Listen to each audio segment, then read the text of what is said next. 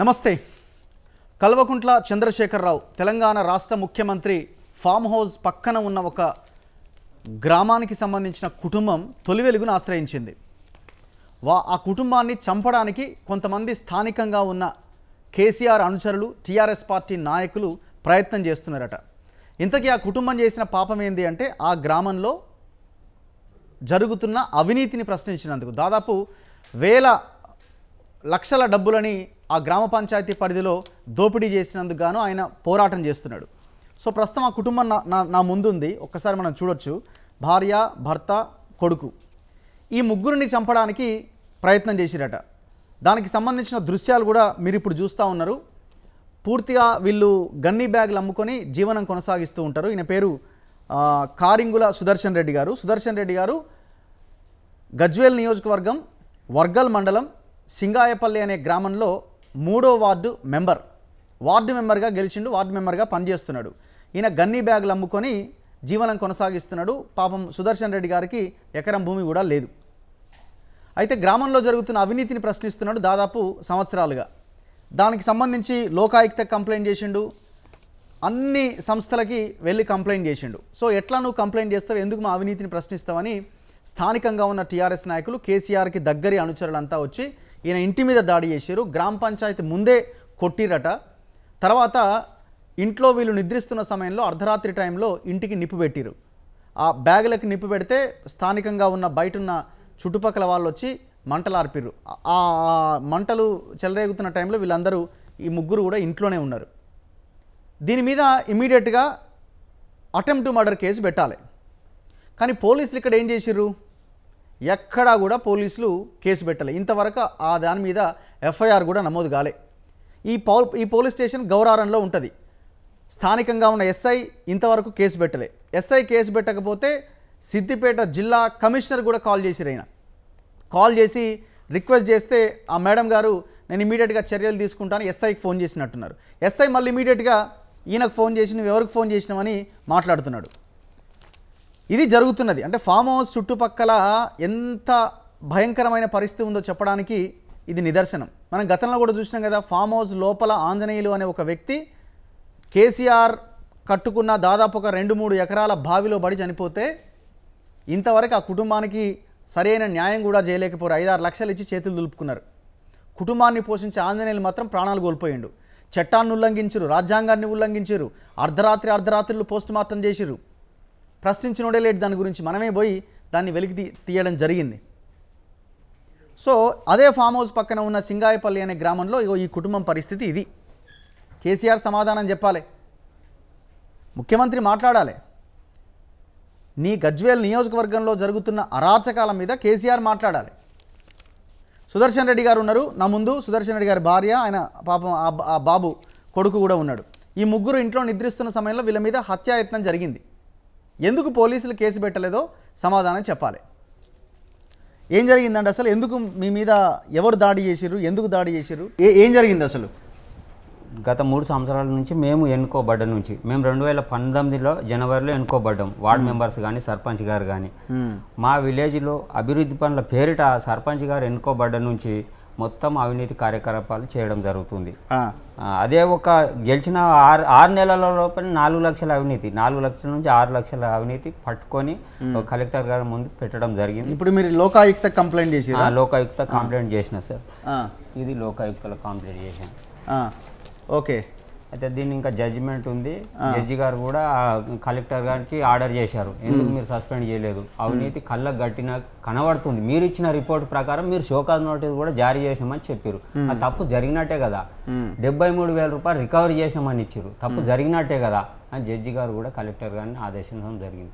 అలాంటప్పుడు చర్యలు తీసుకునే అధికారం ఒక మేజిస్ట్రేట్ జిల్లా కలెక్టర్ అంటే ఒక మేజిస్ట్రేట్ ప్రకారం. మళ్ళీ ఇంత పవర్ పెట్టుకొని మీరు ఒక సర్పంచ్ని ఎందుకు కాపాడుతారు అంటే అక్కడ అంటే కోర్టులో చెప్పలేకపోయారు కానీ ఇప్పుడు నాకు తెలిసినంత వరకు వాళ్ళకు పొలిటికల్గా ఒత్తిడి. ఇది సాక్షాత్ ఒక ముఖ్యమంత్రి కనసన్నలో జరుగుతుంది సార్ ఇది. మొత్తం ప్రతి ఊరికి వీళ్ళు సర్పంచులు కాదు వాళ్ళ ఏజెంట్ల లాగా పనిచేస్తారు పక్కన పక్కన పెట్టండి. అది సార్. ఏజెంట్ల పనిచేసి కమిషన్లు మండల అధికారుల కమిషన్లు జిల్లా అధికారుల కమిషన్లు ఆ, వీళ్ళకు మిగతాది పైకి వెళ్ళిపోతుంది. ఏం తర్వాత ఏం జరిగింది? మీరు క్వశ్చన్ చేస్తున్నప్పుడు మిమ్మల్ని ఎక్కడ కొట్టారు? ఇగో ఇక్కడ కొడితే హాస్పిటల్ రసీదు కూడా పెట్టాను నేను. ఇది మొత్తం గోర్లు గీరడము. ఒక సర్పంచ్ లేడీ సార్ లేడీ ఈమె నూకేసి మీద పడి ఫోన్ గుంజుకోవడము. మిమ్మల్ని కూడా కొట్టిరా? ఆ, నన్ను కూడా ఫోన్ గుంజుకుంది నూకేసింది. నూకేసింది. ఆ, నన్నేమో ఈడ దవడ మీద కొడితే ఇంత వాసిపోయింది. ఈడ గోర్లన్నీ గీరుకపోయినాయి. ఇగో ఇవన్నీ కార్లు ఇంకా మొన్న వాళ్ళే. ఆ. ఆ, ఆ కనీసం నన్ను చికిత్స కోసము హాస్పిటల్ తీసుకెళ్ళండి సార్ అని ఎస్ఐ గారిని కోరుకుంటే స్పందించరు. ఏం పేరు ఎస్ఐ పేరు? సంపత్ కుమార్. ఇప్పుడు మీరు ఎప్పుడు కొట్టింది ఎప్పుడు మిమ్మల్ని? ఇరవై తారీఖు పదకొండు సాయంత్రమే పొద్దున్నే వేయండి. ఫోన్లు గుంజుకోగానే వేయండి మూడో నెల లాస్ట్ మంత్ Last month. మొన్న టెన్ డేస్. ఇరవై తారీఖు పోలీస్ స్టేషన్కి వెళ్ళిరా ఆ, వెంబడే పదకొండు గంటలకు ఈ టైంకు సమయానికి దాడి జరిగింది. పన్నెండు గంటల లోపల నేను పోలీస్ స్టేషన్కి వెళ్ళిన అదే టెన్ మినిట్స్ లోపల. ఫిర్యాదు చేస్తే స్పాట్లో రా రాకపోవడం విడిచిపెట్టి ఆ రోజు కూడా రాలేదు. అసలు విచారణకు మళ్ళీ ఇంత జరిగింది కదా దాడి. ఫోన్లు గుంజుకోవడము సిగ్నల్ ఆధారంగా ఫోన్ గుంజుకు అక్కడ సీసీ కెమెరాలు ఉన్నాయి గ్రామ పంచాయతీ. ఒక యాభై వంద మంది ఉన్నారు. నువ్వు ఇంత దాడి జరిగితే ఒక కుటుంబం పైన రాకపోవడం ఏం సార్. కంప్లైంట్ చేస్తే ఏమన్నారు పోలీసులు వెళ్తే? కంప్లైంట్ చేస్తే లైట్గా తీసుకున్నారు. వస్తాం మీరు వెళ్ళండి ఇంటికి వెళ్ళండి మీరు వెళ్ళే లోపు వస్తాము. మేము ఇంటికి వచ్చిన తర్వాత వాళ్ళు రారు. రాకపోతే ఫోన్ కొట్టిన కొద్దీ లేపరు. మా దగ్గర ఫోన్ లేవు. అప్పటికే గుంజుకుర్రు వాళ్ళ వాళ్ళు ఉన్నాయి. సర్పంచ్ గారు ఎవరైతే ఈ టీఆర్ఎస్ కార్యకర్తలు ఉన్నారో కొట్టి గుంజుకుర్రు. వాళ్ళు మేము కేసీఆర్ గారి అంచర్ల. మామూలు కూడా ఏం చెప్పి పోలీసు వాళ్ళు వస్తారు అనుకున్నావా? రారు అని చెప్తారు. అదే నిజమైంది కదా సార్ ఇప్పుడు. ఎవరు ఆ పేర్లు ఏంది వాళ్ళది? సర్పంచ్ పేరు ఏంటి సర్పంచ్ పేరు సంగీత గౌరారం సంగీత. ఇంటి పేరు గౌరారము ఆ, ఆమె పేరు సంగీత. ఓకే. ఆమె భర్త పేరు గౌరారం వేణుగోపాలరావు. ఇంకొక ఆయన మేటుగా పనిచేస్తాడు. మేటు అంటే ఈ ఉపాధి హామీలో. మొత్తం రానోళ్ళ పేర్లు మొత్తం రోజు ఒక ముప్పై మంది పేర్లు రాస్తాడు సార్ రోజుకు. రానోళ్ళే? ముప్పై మంది చూడండి ఎంత అవినీతి అంటే రోజుకు ముప్పై మంది. ముప్పై మూ రెండు వందల నలభై రెండు రూపాయలు ఒక్కొక్కరు కూలి. ఆ విధంగా చూస్తే రోజుకి ఇరవై వేలు ఎవరి పేర్లు రాస్తాడు రానోళ్ళే అంటే? మొత్ ఆ, చాలా మంది ఇప్పుడు జాబ్ కార్డులు ఉంటాయి కదా సార్. జాబ్ కార్డులు ఉన్న వాళ్ళే వాళ్ళ కమిషన్లు ఇస్తారు. వాళ్ళు పని చేయరు. వాళ్ళ కమిషన్ ఇప్పుడు నా అకౌంట్లో వేసారు అనుకోండి. నేను అంతే. అట్లా మొత్తం కాంట్రాక్ట్ వైజ్ అయిపోయింది ఇది. మొత్తం ఇది అంతా కేంద్ర ప్రభుత్వాన్ని. ఏది ఉపాధి హామీ పథకం నిధులైతే ఏవైతే ఉన్నాయో కేంద్ర ప్రభుత్వం నుంచి రాష్ట్ర ప్రభుత్వానికి వస్తున్నాయి. ఈ రాష్ట్ర ప్రభుత్వము దారుణాలు చేస్తుంది కానీ అక్కడ కేంద్ర ప్రభుత్వానికి ఏం తెలియదు. ఈ మధ్యలో రీసెంట్గా కేంద్రానికి ఇట్లా జరుగుతుందని చేసి మొన్న ఇన్ఫర్మేషన్ కూడా పోయింది. మొన్న సారు మన ప్రధానమంత్రి గారు కూడా నిర్ణయం తీసుకొని ఫస్ట్ నుంచి రూల్స్ చేంజ్ చేస్తాము రాష్ట్ర ప్రభుత్వం కట్ చేసేస్తాం పవర్. మేమే డైరెక్ట్గా అకౌంట్కి వేస్తాం. ఇంత అవినీతి జరుగుతుందని కూడా చెప్పడం జరిగింది మామూలుగా. సో తర్వాత మరి మీద హత్యాయత్నం ఎప్పుడు జరిగిందంటే అదే రోజు. ఇల్లు తగలబడ్డ అదే రోజు. ఉన్నాయి. అదే రోజు. ఇరవై తారీఖు మా మీద ఈ సమయానికి దాడి జరిగింది. పోలీస్ స్టేషన్ పోయినాం రాలేదు స్పందించలేదు. అదే రోజు నైటు ఆ, ఎందుకంటే వీళ్ళు పోలీస్ స్టేషన్ పోయి పెద్ద ఇష్యూ అవుతుంది వీళ్ళని మొత్తం చంపడమే ఇక వాళ్ళు పెట్టుకున్న డిసైడ్ ఇక. వీళ్ళతో ఎందుకంటే పెద్ద ఎత్తున నడుస్తుంది సార్. అది. అంటే ఎట్లా ఏమైందమ్మా? మీరు ఇంట్లోనే ఉన్నారా ఆ రోజు నైట్? నైట్ మేము ఇక అదే పోలీస్ స్టేషన్కి ఈయన పోయి వచ్చిండు. నాకు ఎటో అవుతుంది లొల్లి అయింది కదా. నాకు ఎటో అవుతుంది అంటే ఈయన తీసి హాస్పిటల్కి పోదాంపా మరి అని హాస్పిటల్కి పోయినాం మా అన్నయ్య మా అత్తమ్మ వాళ్ళు ఉంటారు. అక్కడనే ఇక ఆరు ఏడు అయ్యేదాకా అన్నే ఉన్నాం. ఆరున్నరకు ఏడు గంటలకు ఇంటికి వచ్చినాం. ఇక పొద్దున వండిన అన్నం ఉంటేనే వీళ్ళిద్దరు పెరుగు పోసుకొని తినేసారు తిన్నాక నేను ఇక పండుకుంటా ఇక నాకు శాతనేతలే అంటే సరే తీ అన్నారు. ఇక వీళ్ళు డోర్ పెట్టిరా పెట్టలేదా నేను చూడలేదు. ఇక ఆయన రాత్రి పన్నెండు గంటలకు మేము మంచిగా నిద్రల మీద ఉన్నాం. రాత్రి పన్నెండు గంటలకు బయట వాళ్ళు వచ్చి పిలిచేదాకా మేము చూస్తూనే లేము. వాళ్ళు డోర్ కొడుతురు భాగ్య భాగ్య అని పిలుస్తావురు పిలుస్తుంటే కూడా మాకు మెలకు వస్తలేదు పిలిచి ఇక పక్కోళ్ళే ఇక పిలిచి భాగ్య భాగ్య అని గట్టిగా పిలిచినాక మెలకు వచ్చింది ఏంది ఏంది అని వచ్చే వరకు అప్పటికే సగం సంచులు అంటుకున్నాయి. పన్నెండు రాత్రి పన్నెండు గంటలకు. మొత్తం మీరు మీరు బిజినెస్ చేసే గన్ని బ్యాగులు అన్నీ అంటుకున్నాయి. సగం మా బ్యాగులు అంటుకున్నాయి. ఉమ్. ఎంత పెద్ద మంట వచ్చింది? బాగానే పెద్ద వచ్చింది. చాలా మంది బాగానే వచ్చింది. ఈయనకి ఎటో ఆలోచన రాక ఫోన్ చేసిండు. ఆ, అదేమంటారు కదా అది? అక్కడికి ఫోన్ కూడా చేసిండు నేనే. ఫోన్ చేసి ఇక అక్కడ వాళ్ళు ఎవరు కన్ఫర్మ్ చేస్తలేరని ఇక అక్కడ పక్కలో ఇక నీళ్ళు మొత్తం తెచ్చుకుంటే ఐదారు డ్ర పది పదిహేను డ్రమ్ముల దాకా చల్లిరు వాళ్ళే నీళ్ళు. మొత్తం పిల్లలు అక్కడ ఉన్న పిల్లలకి ఇట్లా. లేకుంటే ఇంకా జ్వరం దాంటుకుంటే బయటకు కూడా వెళ్ళ రాకపోతుండే మాకు. ఓకే ఇప్పుడు మీది పెంకుటిల్లా? పెంకుటిల్లే సార్. పెంకుటిల్లే. పెంకుటిల్లు గిండ్రు ఉంది మాకు అక్కడనే ఉంది. ఇంట్లోనే గిరిని పెంకు మరి మళ్ళీ చంపాలన్నంత ప్రయత్నం చేసిరా అంతే కదా సార్. దీనికే? అంతే కదా సార్. గదానికి అదే రాత్రి అయింది సార్ మరి. ఇదానిగా అంటే దీని వెనుక చాలా కుంభకోణాలు బయటపడుతున్నాయి. తీగ లాగితే డొంక లాగినట్టు కేసీఆర్ వరకు ఇది మొత్తం కమిషన్ బేసిక్ పైన పోయింది సార్ ఇది. జిల్లా కలెక్టర్ల వరకు అందిందంటే ఇప్పుడు దీన్ని ఎంక్వైరీ పెట్టుమని రాసిన నేను అందులో. డీజీపీ గారికి ఇచ్చిన పిటిషన్లో. ఎంక్వైరీ చేస్తే బయటపడతాయని ఒక ఫ్యామిలీని లేపేస్తే అయిపోతుంది. వీడు కరప్షన్ పైన ఒక పన్నెండు సంవత్సరాలు ఫైట్ చేయడం ఏంది? వీడిని ఒక్కరిని మనం భరించడం ఏంది? ఒక ఇది డిసైడ్ అయిపోయారు. ఈయన ఏది చూసినా ఏదన్నా కానొచ్చిందంటే ఇది ఎందుకు ఇట్లా చేస్తున్నావు అని నిలదీస్తాడు అన్నట్టు. నిలదీసే వరకు ఆహా, వీళ్ళు నిలదీస్తుండు కదా అన్నట్టు ఇక అట్లా అయిపోయింది వాళ్ళకు. మీరు ఏ పార్టీలో ఉండి గెలిచిరు ఇప్పుడు నా ఇండిపెండెంట్ సార్ ఎంత? ఇండిపెండెంట్ గానే గెలిచిరు. ఇండిపెండెంట్ సార్ ఏ పార్టీలో ఏ పార్టీలో లేని ఇండిపెండెంట్ నుంచి గెలిచాను. నేను ఒక రూపాయి ఖర్చు పెట్టాను ప్రజల అభిమానం కోరిక ఎందుకంటే నేను కొన్ని సంవత్సరాల నుంచి నేను కరప్షన్ పైన చేస్తున్నా కాబట్టి ప్రజలకు నమ్మకం ఉంది. వాళ్ళు స్వచ్ఛందంగా గెలిపించారు నా పైన ఒక లేడీ కూడా ఒక యాభై వేల రూపాయలు ఖర్చు పెట్టింది వార్డు మెంబర్గా. అయినా ఆమె గెలవలేదు నేను గెలిచినంటే ప్రజల అభిమానంతో గెలిచిన. ఒక మనకు ఇప్పుడు విలేజ్లో మీ ఊరు వాళ్ళంతా మీకు సపోర్ట్ ఉన్నారా? సర్పంచ్కి సపోర్ట్ ఉన్నారా? అయితే అక్కడ ఇప్పుడు చెప్పాల్సింది ఏంటంటే సపోర్టింగ్ లోపల ఇన్సైడ్ మొత్తం మాకున్నారు. బయట బెదిరింపులకు లొంగి వాళ్ళ ముందు ఎవరు మాట్లాడలేరు. ఇప్పుడు సపోజ్ నేను మాట్లాడినా నా మీద ఈ దాడి. ఎవరు మాట్లాడితే వాళ్ళ పైన దాడి. భయపడి మాకెందుకులే? పోని ఈ ఎంత దూరం ఉంటుంది? ఫామ్ హౌస్కి మీ మీ ఎనిమిది? కిలోమీటర్లు. ఎనిమిది కిలోమీటర్లు. ఆ. గౌరారం నుంచి ఆయన రైట్ టర్న్ రైట్ టర్న్ అవుతాడు. మాది అదే అదే గౌరవం పక్కకు ఆనుకొని ఉంటుంది ఇక మాది. ఓకే మీ విలేజ్. ఎంతమంది ఉంటారు మీ మీ విలేజ్లో? మా విలేజ్లో ఏడు వందల యాభై మంది ఉంటారు సార్. పోయిన రెండు టూ థౌజండ్ లెవెన్ గణాంక లెక్కల ప్రకారం రెండు వేల ఏడు వందల యాభై. ఇప్పుడు దాదాపు పెరిగితే ఒక తొమ్మిది వందల వరకు పెరుగు నూట మీరు మీరు కమిషనర్కి కాల్ చేసినట్టున్నారు కదా ఈ ఆడియో అదే కదా ఒక్కసారి. అవునవును సార్. ఏం పేరు కమిషనర్ పేరు? శ్వేత మేడం. మీరు వెళ్ళారా? ఫోన్ జస్ట్ ఫోన్ నేను చేశారా ఫోన్ చేశాను. వెళ్ళే వెళ్ళే వెళ్ళే ప్రయత్నం చేసి వెళ్ళే ప్రయత్నం చేశాను. మేడం లేరు సిద్దిపేటకి వెళ్ళాను. అయితే మేడం లేకపోతే కాల్ చేశాను నేను. మేడం లిఫ్ట్ చేసిందేనా? ఆ, మేడం చెప్పి మేడం నేను ఇరవై ఐదు తారీఖు మొన్న లాస్ట్ మంత్ ఇరవై ఐదు తారీఖును నా మీద దాడి జరిగింది మేడం ఫోన్లు గుంజుకురు కొట్టి. దాని గురించి నేను గౌరవం పిఎస్లో కంప్లైంట్ చేస్తే ఇంతవరకు ఎటువంటి చర్యలు తీసుకోలేదు. వాళ్ళంతా ఇల్లీగల్గా ప్రవర్తిస్తున్నారు నిందితులతో కలిసిపోయారు మేడం పోలీసు వాళ్ళు ఎలాంటి విచారణ లేదు ఇల్లు కాలబెట్టారు మేడం ఇల్లు కాలబెడితే ఇంత కనీసం ఇంటికి వచ్చి చూసింది లేదు ఇంతవరకు పంచనామా లేదు ఏం లేదు మేడం. మేడం? ప్లీజ్ మేడం ఎందుకంటే మీ- మీ దగ్గరకు రావాలను సో కమిషనర్ గారికి కాల్ చేశారు సుదర్శన్ రెడ్డి గారికి. కాల్ చేసినప్పుడు వచ్చిన రెస్పాన్స్ ఇది. ఖచ్చితంగా నేను ఎంక్వైరీ చేయిస్తా అన్నారు. మేబీ నేను అనుకున్న కమిషనర్ వెంటనే ఎస్ఐ కాల్ చేసి ఉంటారు. ఎస్ఐ మళ్ళీ సుదర్శన్ రెడ్డి గారు మీకు కాల్ చేశారు కదా? మళ్ళీ సుదర్శన్ రెడ్డి గారికి కాల్ చేసి ఎస్ఐ మాట్లాడుతున్న హలో. హలో ఎవరు మాట్లాడేది? సుదర్శన్ రెడ్డి ఎక్కడ సుదర్శన్? ఆ, ఎవరు? నేను సిద్దిపేట నుంచి వస్తున్నా ఎవరు? సుదర్శన్ ఎక్కడున్నావు? సింగాయిపల్లి నేను సిద్దిపేట వెళ్ళి వస్తున్నా. సార్ చెప్పు. ఏమైంది? హలో? ఏమైంది? ఏం లేదు సార్. చెప్పు. మరి ఫోన్ చేసినావు ఎవరికన్నా? మేడం మేడం చేసిన సార్ సిద్దిపేట పోయిన మేడం కాల్ చేసిన ఇట్లా ఈ కేసు పైన చర్యలు తీసుకోవాలి మేడం ఇట్లా నాకు అన్యాయం జరిగిందని చెప్పి ఆయన మాట్లాడినా మేడం తోటి. ఆ, ఆ. అంటే నేను ఎంక్వైరీ చేపించి యాక్షన్ తప్పకుండా తీసుకుంటా బాబు అని చెప్పింది. Okay okay. మంచిది. ఏం మంచిదండి? పోలీస్ స్టేషన్కి వచ్చిన బాధితులని ఇమీడియట్గా కేసు పెట్టాల్సింది పోయి కమిషనర్ కాల్ చేస్తే కమిషనర్ మళ్ళీ రిటర్న్ కాల్ చేస్తే ఎస్ఐ మళ్ళీ బాధితులకు ఫోన్ చేసి ఎవరికి ఫోన్ చేసినామని అడుగుతాడా? ఇదేం దుర్మార్గం? ఒకసారి ఎస్ఐకే ఫోన్ చేస్తే అయిపోదు. Gauraram SI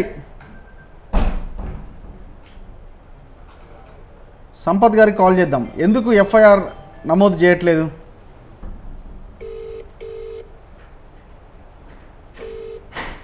hello? హలో నమస్తే సంపత్ గారు అండి? ఎస్ఐ గారు. సార్ నేను రఘు అండి తొలి వెలుగు జర్నలిస్ట్ మాట్లాడుతున్నా. సార్ ఇప్పుడు ఏం లేదండి ఇప్పుడు ఈ సింగాయపల్లి నుంచి సుదర్శన్ రెడ్డి గారు తొలి వెలుగుకి వచ్చారు ఏం లేదండి ఇప్పుడు వీళ్ళది ఎఫ్ఐఆర్ ఫైల్ చేయట్లేదు మా ఇల్లు తగలబెట్టడానికి వచ్చారు వాళ్ళ పేర్లు ఉన్నాయి మేము కంప్లైంట్ ఇచ్చినా కూడా తీసుకుంటలేరని అంటున్నారు కదా. ఏంటి సార్? ఎఫ్ఐఆర్ ఉందా సార్? ఆ, కంప్లైంట్ ఆల్రెడీ రిజిస్టర్ అయి ఉన్నది. ఒకసారి నా దగ్గరికి రమ్మని చెప్పి. సో ఎఫ్ఐఆర్ చాలా దుర్మార్గం కదా సార్. ఇప్పుడు ఎందుకు వాళ్ళు ఏమైనా కేసీఆర్కి అనుచరులా సార్? వాళ్ళు ఏమైనా ఇన్ఫ్లుయెన్స్ ఉందా? సరే మీరు కూడా ఏం చేయలేరు అనుకోండి కొన్ని సిచ్యువేషన్స్లో అంటే మీ మీద కూడా ప్రెజర్స్ ఉండొచ్చు నేను నేను కాదనలేను. అట్- అట్- అట్లాంటి సిచ్యువేషన్ ఇల్లు తగలబెడితే కూడా ఇంతవరకు వాళ్ళ మీద చర్యలు ఉండకపోతే ఎట్లా సార్? ఇది ఇది ఇది అటెంప్ట్ మర్డర్ కేసు కాదా? అరే ఇప్పుడు సంచులు తగలబెట్టిరంటే ఇల్లు తగలబడుతుంది కదా సార్ నెక్స్ట్ హలో? సంపత్ గారు సంపత్ గారు. పెట్టలేదు వీడియోలు ఉన్నాయి సార్ వీడియోలు ఉన్నాయి కదా.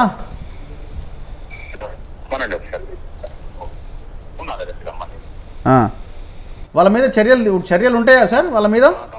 ఇప్పుడు స్టేజ్ ఇప్పుడు గ్రామ పంచాయతీ ముందే కొట్టిరట గ్రామ పంచాయతీ ముందే కొట్టిరట వాడు సీసీ ఫుటేజ్ ఉంటుంది ఆ సీసీ ఫుటేజ్ తీయొచ్చు బయటకు వస్తుంది. ఇనిషియేట్ చేస్తాము లీగల్ యాక్షన్ ఒక కంప్లైంట్ ఉంది దాని మీద యాక్షన్ ఉంది. ఇల్లు దగ్గర పెట్టిన కంప్లైంట్ అయితే రాలేదు నా దగ్గరికి రమ్మనండి. కంప్లైంట్ చేయలేదు అంటున్నారు కదా? నిన్న డైరెక్ట్ పోయి మాట్లాడారు కమిషనర్ కమిషనర్ కాల్ చేశారు. కమిషనర్ రికార్డ్ ఉంది ఆడియో రికార్డింగ్. కమిషనర్ గారు చర్యలు తీసుకుంటాం. సార్?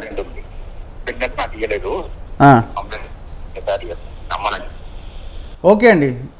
ఇమీడియట్గా వాళ్ళు ఎవరైతే ఎవరైతే అది ఆ తగలబెట్టిరో వాళ్ళని అరెస్ట్ చేసే ప్రయత్నం చేయండి. వాళ్ళని అరెస్ట్ చేయండి ఇమీడియట్గా ఫోన్లు వాళ్ళ ఫోన్లు ఫోన్లు కూడా తీసుకుంటారు సార్. మరీ అన్యాయం కాకపోతే. ఫోన్ ఇప్పించేసిన ఫోన్ వచ్చిన ఫోన్ మరి ఇప్పుడు అవును ఇప్పుడు మీరు ఫోన్లు ఇప్పించినప్పుడు వాళ్ళ మీద కేసు ఎందుకు అవ్వదు సార్? ఇది మరీ అన్యాయం కదా. అయ్యింది అయ్యింది అంటున్నారు. ఎఫ్ఐఆర్ ఫైల్ అవ్వాలి కదా సార్ ఫస్ట్. అదే నా దగ్గరికి రమ్మనండి. పిటిషన్ కూడా అది ఆ రోజు అయ్యింది అంటున్నా. ఇది ఎస్ఐ మాట్లాడుతున్న తీరు. ఏం చెప్తారు ఇక? తప్పు జరిగిందని ఓపెన్గా కనిపిస్తుంది. పాపం పోలీసులు ప్రెషర్లో పనిచేయాల్సిన పరిస్థితి. ఇప్పుడు ఆయన గనక ఎదురు తిరిగితే ఆ సర్పంచ్ని తీసుకుపోయి లోపలేస్తే ఆ సర్పంచ్ భర్తను తీసుకుపోయి లోపలేస్తే ఆయన పోస్ట్ అడు ఉండదు. పని చేయలేని సిచ్యువేషన్ వాళ్ళది కూడా. మనం కూడా ఏం ఏం అనలేని సిచ్యువేషన్ ఒక్కొక్క ఒకనొక సందర్భంలో. కమిషనర్కి ఫోన్ చేసిన తర్వాత కూడా ఇంతవరకు చర్యలు లేకపోతే కేసీఆర్ ఫామ్ హౌస్ పక్కన ఉన్న ఒక కుటుంబం మీద ఆ ఇంటిని తగలబెట్టడానికి ప్రయత్నం చేస్తే తగలబెడితే ఇంతవరకు చర్యలు లేకపోతే ఇక నూట పంతొమ్మిది నియోజకవర్గాల్లో ఎక్కడో ఆదిలాబాద్లో మంచిర్యాల్లో ఉన్న ప్రజల పరిస్థితి ఏంది? ఏం బాబు ఉన్నావా నువ్వు ఇంట్లో ఆ రోజు? ఉన్నావు. లేచినావా నైట్?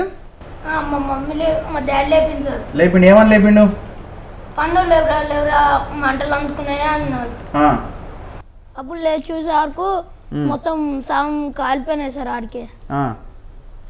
ఎంత పెద్ద ఎత్తున వచ్చినాయి మంటలు? నా ఎత్తు వచ్చినాయి సార్. అంత పెద్దగా వచ్చినాయి. అయితే మా పక్కింటి వాళ్ళు ఒక అన్నలు ఉంటారు వాళ్ళు దెబ్బ దెబ్బ వచ్చి వాటర్ పోసిరు బకెట్లతోనే. మళ్ళీ మా పక్కింటి వాళ్ళు పిలిచిరు సార్ మేము పనుకున్నాక భాగ్య భాగ్య అని పిలిచిరు మేము లేసేవారికి ఆడికే అంటుకున్నాయి సార్. అమ్మ పక్క పంటి కూడా ఇంకో రెండు ఇంకో ఇల్లు కూడా ఇట్లా మాకు రెండు కలిపే కట్టిర్రు అన్నట్టు. ఇండ్లు. వాళ్ళకు కూడా జర కొంచెం అంటుకుంటుండే వాళ్ళకు కూడా వాళ్ళు ఒకటే భయపడు. వాళ్ళకి వాళ్ళ ఇంట్లోకి చెక్క వచ్చింది. చెక్క వచ్చి వాళ్ళు ఇప్పుడు ఏమంటాడు? ఏ తగలబడింది లేదు ఏం లేదు అని అంటు అంటున్నాడు ఎస్ఐ. అదే కదా సార్ ఇప్పుడు. అదే పట్టించుకుంటలేరు. అందుకే పట్టించుకోకనే కదా సార్ కంప్లైంట్ కంప్లైంటే చేయలేదు అంటాడు. గ్రామ పంచాయతీ దగ్గర గొడవ కంప్లైంట్ ఉంది కానీ ఇది తగలబడ్డ కంప్లైంట్ లేదంటాడు. ఆగు చూడండి. డీజీపీ గారికి ఇచ్చిన ఆ. లెటర్లోనే ఉంది. అయితే ఇగో ఇక్కడ ఇది ఇది తెలంగాణ తెలంగాణ డీజీపీకి తెలంగాణ డీజీపీకి సుదర్శన్ రెడ్డి రాసిన లెటర్ ఇది. దీని వెనకాల twenty sixth March two thousand twenty two అంతేనా? సార్. ఇగో వాళ్ళ స్టాంప్ కూడా ఉంది. Office of the director general of police Hyderabad. Stamp కూడా కనిపిస్తుంది. ఏమన్నాడు ఇట్లా?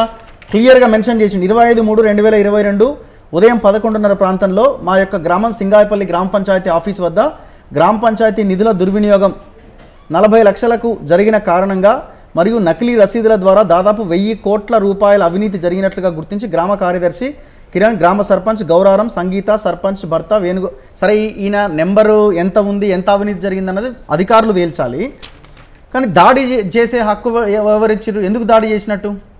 ఇది డీజీపీ కూడా కంప్లైంట్ చేసిండు. ఇగో ఇక్కడ ఇక్కడ రాశారు క్లియర్గా. ఫోన్లు గుంజుకున్నారు.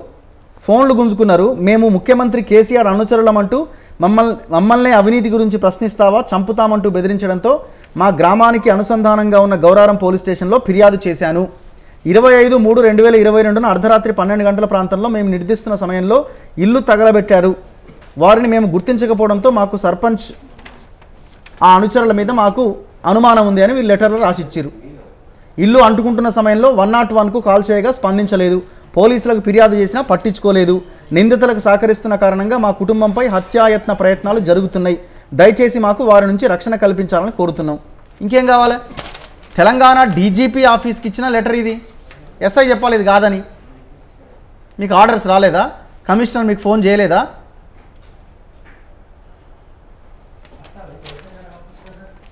కేసీఆర్ ఏం దుర్మార్గం? నీ ఫామ్ హౌస్ పక్కనే ఇన్ని అరాచకాలు జరిగితే ఇక రాష్ట్రంలో పరిస్థితి ఏంది? ఏం చేద్దాం అనుకుంటున్నారు? వాట్ నెక్స్ట్ మీరు ఫైట్ చేస్తారా? లేకపోతే తప్పకుండా ఫైట్ చేస్తా సార్. నా ఆశయం ఏంటంటే సమాజాన్ని మారవడం ఈ అవినీతిని అంతమొందించడమే నేను ఆశయంగా పెట్టుకున్నా. మ్మ్. పన్నెండు పదమూడు సంవత్సరాల నుంచి దానిపైన పోరాటం చేస్తా ఉన్నా నన్ను చంపినా కానీ నేను ఇప్పటికి ఇది ఫస్ట్ టైం కాదు నాకు. దాడి జరగడం చాలాసార్లు జరిగినాయి కానీ ఈసారి చాలా ఘోరంగా జరిగింది. ఇంతకుముందు మా అబ్బాయి మీద కూడా దాడి అతన్ని కూడా ఏడన్నా పోతే కనీసం నా ఫోన్లు గుంజు లాక్కుంటారని చెప్పేసి వీడియో తీస్తాడు. నేను ఎక్కడ ఉద్యమాలు చేస్తే మా కొడుకే నాకు ఒక మీడియాలో కాదు ఇది చేస్తాడు సార్.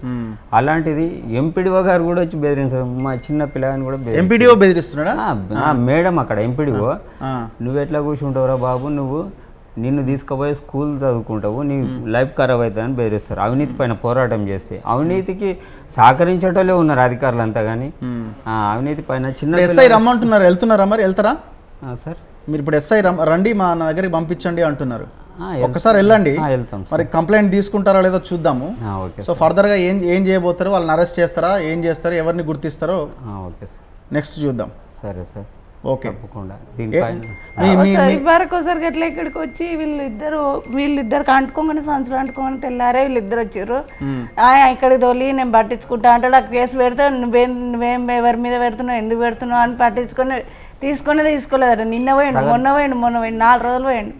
ప్రగత్ భవన్ ముందు ధర్నా చేసినాము. అదే రోజు వచ్చి తీసుకొని పంజగుట్ట పోలీస్ స్టేషన్లో మా కొడుకు నన్ను ఇద్దరిని అక్కడ కేసీఆర్ ప్రగతి భవన్ దాకా వచ్చారు? ఆ, వచ్చిన ప్రగత్ భవన్ అదే ముందు. రాత్రి లోపల వచ్చిండు. వేసారు వాడిని అని చెప్పి కేసీఆర్ ఫోన్ చేసిరు ఆల్రెడీ వీళ్ళు. ఆ. కేసీఆర్ని అరెస్ట్ చేయాలి. కేసీఆర్ అంచర్ల దాడి. ఇది కేసీఆర్ చాలా పెద్ద ఎత్తున అవినీతి ఉంది. మా పైన కూడా కే కేసీఆర్ నియోజకవర్గంలో ఇంత ఎత్తు దాడి జరుగుతుందంటే మిగతా నియోజకవర్గాల సంగతి ఏంది? రాష్ట్ర వ్యాప్తంగా ఏం చేస్తున్నావు కేసీఆర్ అని వచ్చి గేటు ముంగనే కూర్చున్నా సార్. అవును ఫోటోలు మీకు పెట్టి ఉంటారు వాళ్ళు ఆమె మేము ఇద్దరము మా కొడుకు చిన్న అబ్బాయి. ఇద్దరిని తీసుకొని పంజగుట్ట పోలీస్ స్టేషన్లో ఆ, కూర్చుండేటి సాయంత్రం వరకు బెదిరిస్తారు. కేసీఆర్ని అరెస్ట్ చేయడం అంటే మామూలు ఆర్ఆర్ బాబు అంటే రాజ్యాంగం ప్రకారం ఎవరు తప్పు చేసినా కావచ్చు ఒక పదవిలో ఉండొచ్చు నేను కాదంటలేను. తప్పు చేయాలని రాసి ఉందా? రాజ్యాంగంలో? ముఖ్యమంత్రి అయితే రూల్స్ పాటిన రూల్స్ ఉండవా సార్? సామాన్య జనాలకు మనకేనా? రాజ్యాంగాల చట్టాలు వాళ్ళకేం వర్తించవా సార్? అనేది నేను అడిగితే వాడిని తీసుకు లోపలేయండి. సో చివరికి సుదర్శన్ రెడ్డి ప్రగతి భవన్ దగ్గరికి కూడా వచ్చిండట. కేసీఆర్ ఇది నీ ఏలుబడి. మీరు ఇమీడియట్గా పోలీస్ స్టేషన్కి వెళ్ళండి. ఎఫ్ఐఆర్ ఫైల్ అయిద్దా లేదా? ఎఫ్ఐఆర్ ఫైల్ అయిన తర్వాత మీరు ఆ ఎఫ్ఐఆర్ని పట్టుకొని ఇంకొక వీడియో చేయండి.